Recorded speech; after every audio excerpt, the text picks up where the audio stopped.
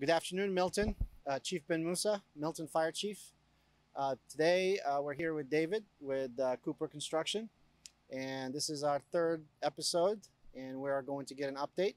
As you can see behind me, there was lots of progress.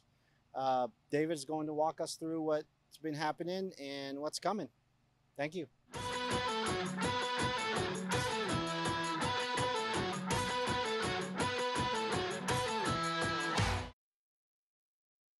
Hey, I'm David Harris with Cooper & Company, Superintendent.